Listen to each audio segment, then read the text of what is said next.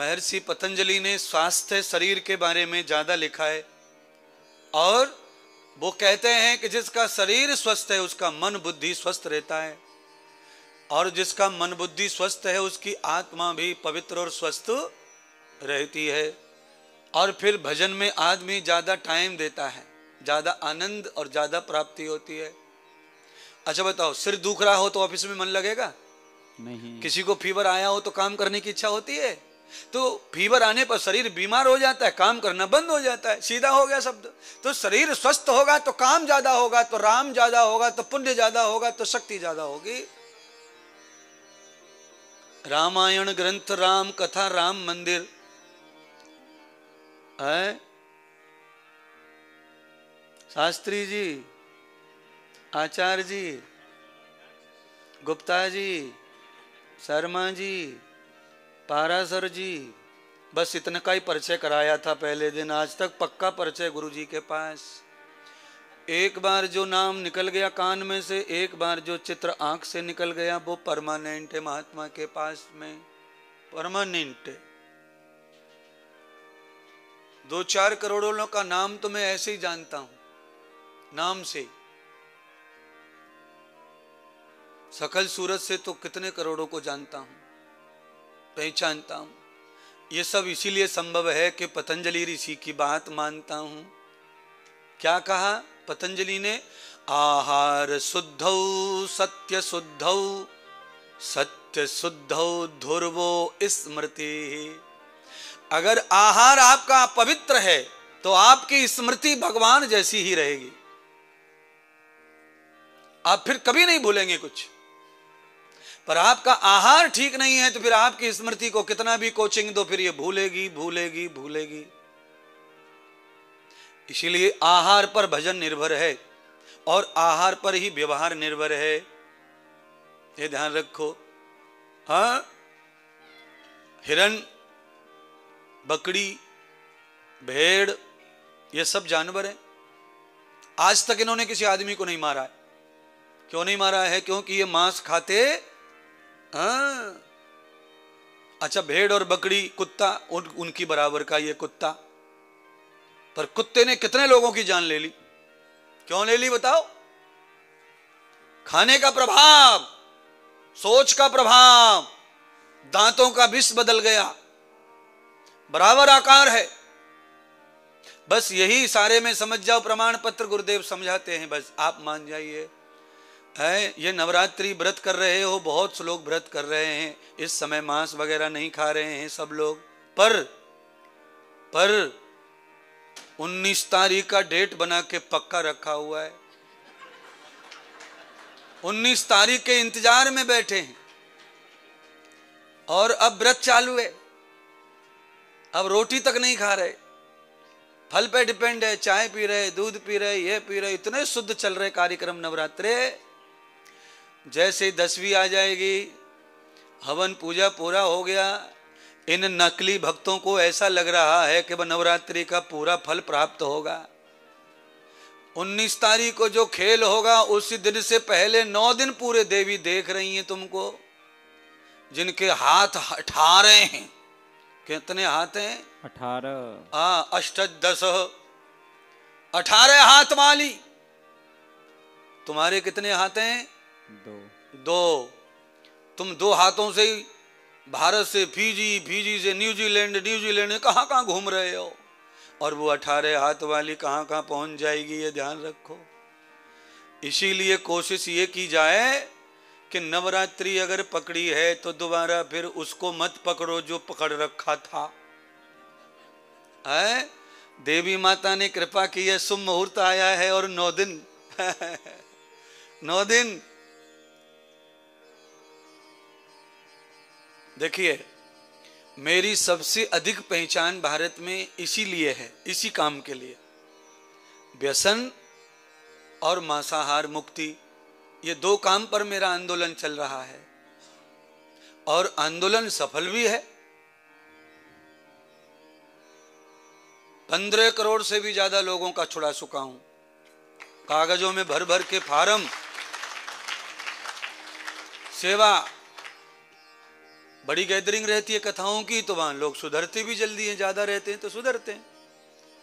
क्योंकि जितनी सुनने वाले रहते हैं, उतनी संख्या के हिसाब से लोग सुधरते हैं। आपकी संख्या इतनी है, यहाँ के हिसाब से तो ज़्यादा ही है तो मैं यहाँ भी आशा करता हूँ कि आप सुधर जाओ। क्या सुधर जाए महाराज? हम क्या बिगड़े हैं? ना, गलती हो रही है बस, वो गलती बदल लो। बिगड़े नहीं हो आप। जो परंपरा तुम्हें प्राप्त है, अपने माता पिता दादी, दादा से, वो बेचारे भोले भाले थे, परेशानी में थे। इसीलिए प्राण बचाने के लिए कुछ भी खा गए, पी गए, उसकी वजह से आपको आदत आ गई। पर आपके घर में तो सब फ्री स्टाइल है अब। किसी प्रकार का अनाज, महँगे से महँगा अनाज, महँगे से महँगी सब्ज़ियाँ खाओ। पर राम मंदिर में माथा टेका है तो मांस अंडा खाने वाला काल नेमी कहलाता है। कौन सा नेमी? काल नेमी। आपको बुरा नहीं लग रहा हो तो तीन चार बार कह दू इसको। आ?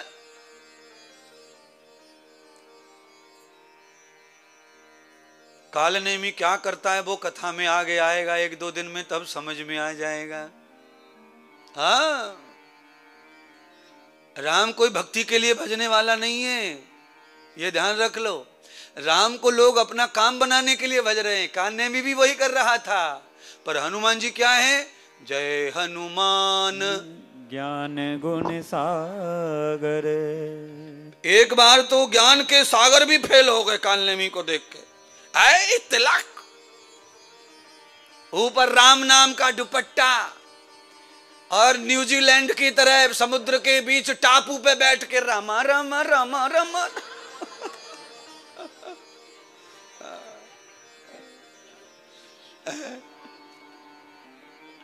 ओम रामायण मंडली। ओम रामायण मंडली कोई मैं जानता हूँ, बाकी को नहीं जानता तो उन्हीं से कह रहा हूँ। प्रधान जी, क्या करेंगे मंडली का आज व्रत लेना है?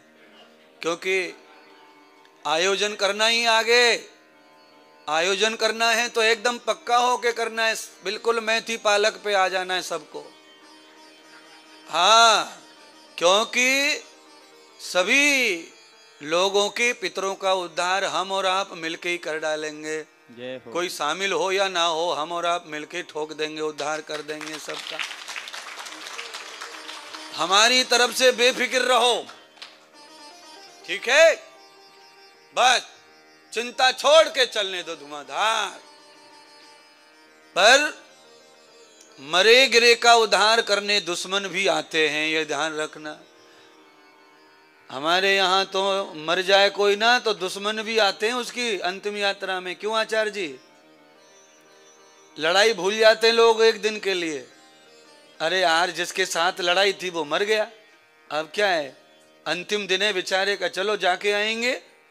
बाद में फिर वो तेरवा खाने नहीं आते, पर मरे में शामिल होते हैं। तो मैं भी उसी में शामिल होना चाहता हूँ। जिनको मैं जानता नहीं, देखा नहीं, पर मानसिक रूप से हम समझ चुके हैं कि ये बड़ी प्रॉब्लम है। इस प्रॉब्लम का हल क्या है? तो श्री नारद और सनत कुमार का जो संवाद है, वही उसका हल है। इसीलिए पाके मानस कथन, फरमाइश। पाके मानस कथन, कर प्रभु का भजन। दुनियादारी का कोई भरोसा नहीं भरोसा नहीं। पाक मानव कथन कर प्रभु का। भजन पाके मानव का तन कर प्रभु का भजन। दुनियादारी का कोई भरोसा नहीं भरोसा नहीं।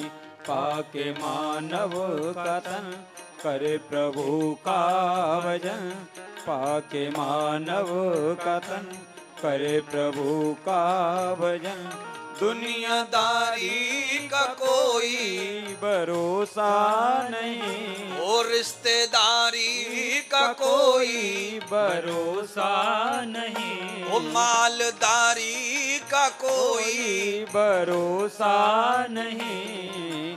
भरोसा नहीं। पाके मानव कथन करे प्रभु का भजन पाके मानव का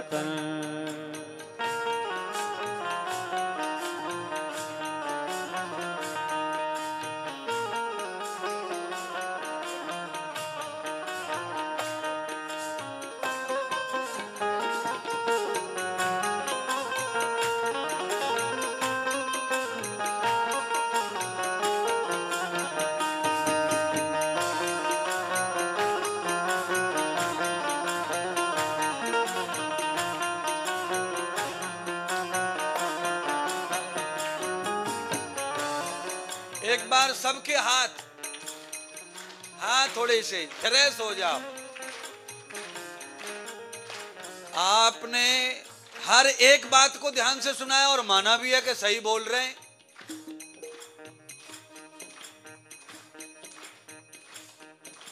पर आदत हो गई है। ये जो आगे की लाइन बैठी है, ये सब पचास के, साठ के ऊपर की बैठी है, इतनी पुरानी आदत है। कैसे महाराज, जल्दी से? पर चिंता न करो।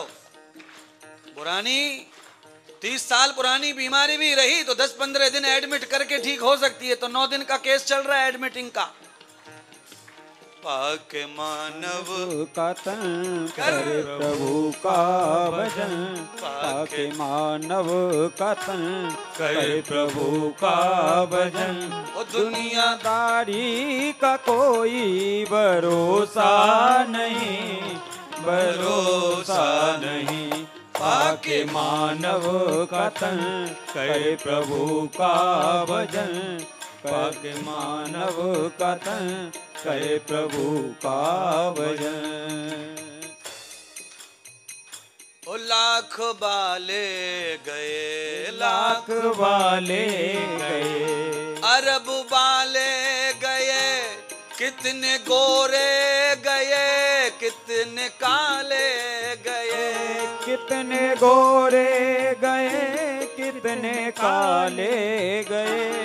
लाख वाले गए अरब वाले गए, लाख वाले गए, अरब वाले गए। कितने गोरे गए, कितने काले गए, कितने गोरे गए, कितने काले गए।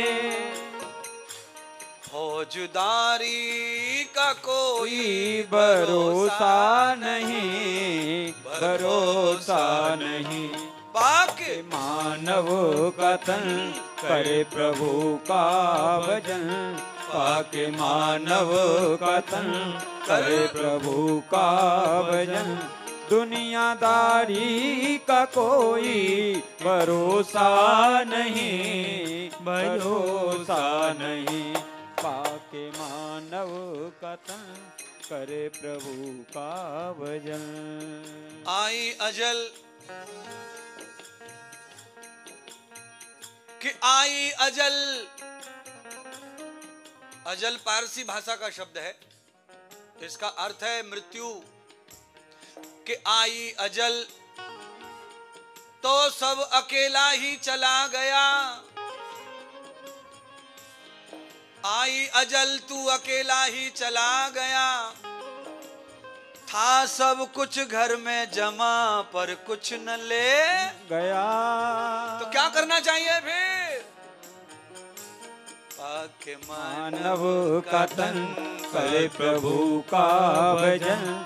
पाके मानव का तन करे प्रभु का भजन। वो दुनिया दुनियादारी का कोई भरोसा नहीं भरोसा नहीं। पाके मानव कथन करे प्रभु का भजन। पाके मानव कथन कर प्रभु का भजन।